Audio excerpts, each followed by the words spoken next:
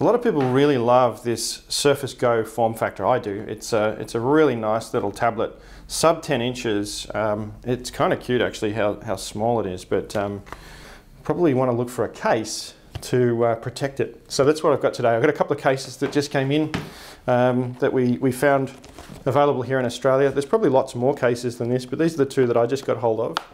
Um, first of all, I've got this Kensington case here.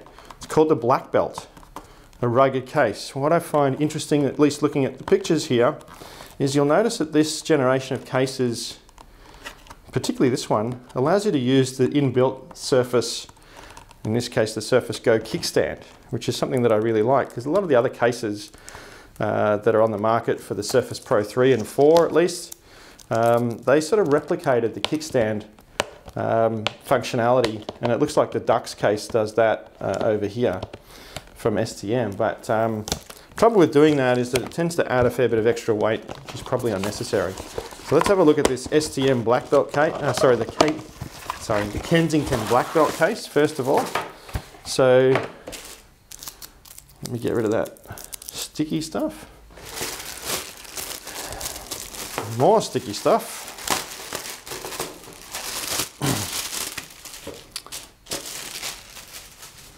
All right, so that's the case there.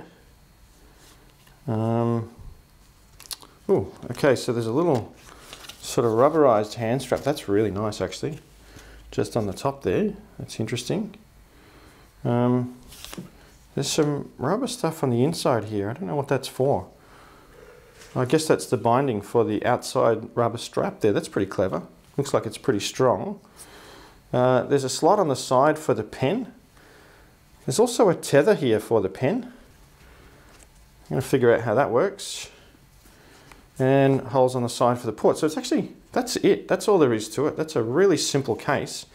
But the important things that it's got as I go and put this on is these rubber bumpers, these sort of hard plastic or they feel kind of rubberized edges that are really going to protect your device. So let's get rid of the pen. And I'll just turn this off while I do it. Now I imagine, I haven't read the instructions, who does that? We just pop this in there. There we go, look at that. And we're in.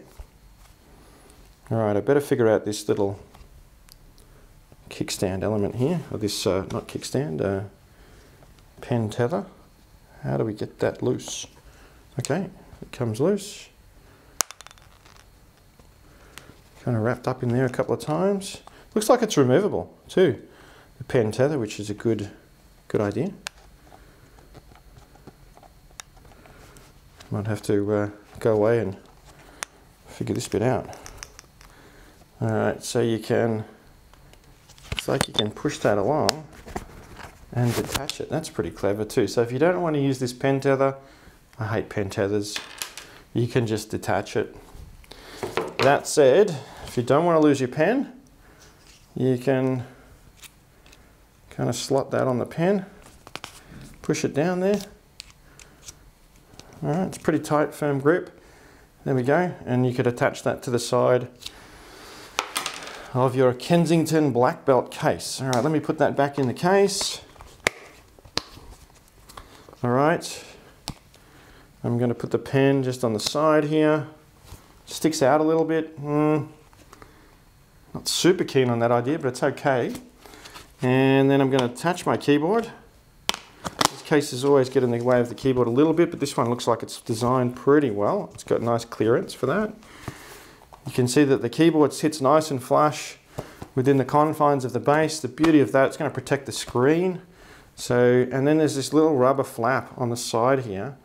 So if you pull that over, you can actually get it to hold your keyboard in place so it doesn't flip open when you're walking along with it. So, if I'm a field worker, I take that off, I leave it in the car, and I walk out with the Surface Go, attach it to my hand like this, and I can collect a bit of data with the pen. I'm doing it left-handed, I'm right-handed, so I'm going to do it like this. That is nice. It's super light, really, really light. It's not adding a lot of bulk and weight to the device. And I've got the pen with me. And perhaps if I'm a student or someone like that, parents don't want you to break your Surface Go, that is going to be really good, protective when it sits in the bag in your, in your backpack. That's going to protect your Surface Go really nicely. Um, and lastly, let me just test using it with the keyboard. So, ah, okay, over on this side here, you can see, what's that? I'm looking at the back, it's on the right side. There's a little notch so that you can still open up the kickstand.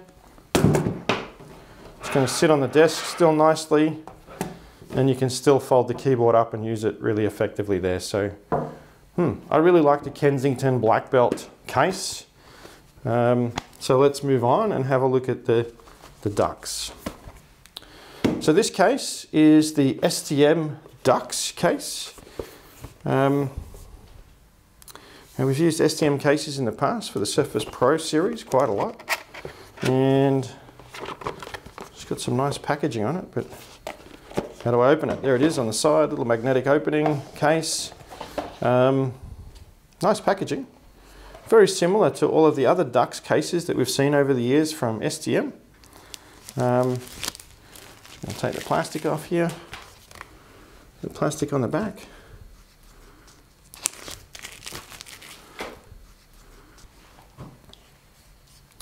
Let's have a quick look at the case itself. So it's got a protective plastic insert there. It has its own kickstand, which I'm just trying to figure out now. A little notch on either side so you can open up that kickstand. Feels like it's got a little magnetic attach or something there. I'm not sure how that works. Right, little plastic kickstand opens up. There's actually, looks to be a spot on the back here, but maybe potentially for your pen. We'll figure out how this works in a second. Um, let's put the Surface Go into that case. So this case does replicate the functionality of the kickstand, so it doesn't uh, allow you to use the inbuilt kickstand. So in that way it probably adds a little bit of weight to the device, but it is quite protective. You can see it's got these rubber, rubberized corners and edges. What did I do with the pen? I left it attached to the other one. All right, let's grab the pen here. And that actually has, the, the pen has a spot right here in the device. So the, in the actual case, it's a, it's a nice little spot there. Probably makes a lot of sense actually there because it's uh, really embedded with the device. Pen's protected. It's always there. Not going to lose it with this one here. It's not going to fall out, not like the magnetic connection on the side. Um, we've still got the spot at the bottom for the keyboard. Let's see how the keyboard closes up. So that's nice. Fits nice. Um, wonder if we can get the kick, keyboard will drop open there. Kickstand on the back. So we can set it up at any angle, just like the inbuilt Surface Go kickstand. And the keyboard folds up there quite nicely as well. So you can either use it folded or flat. So that's a really nice case as well. Um, like I said, it does replicate the kickstand on the back. It doesn't have a hand strap or uh, any uh, shoulder strap attachments for this one. Um, so probably not the best for field users. Great though for, uh, for students, people like that, maybe who just want a little bit more protection on their Surface Go. So there's the two rugged case options that I found quickly uh, here in Australia. No doubt, like I said, there's plenty of other case options, ruggedized cases for the Surface Go.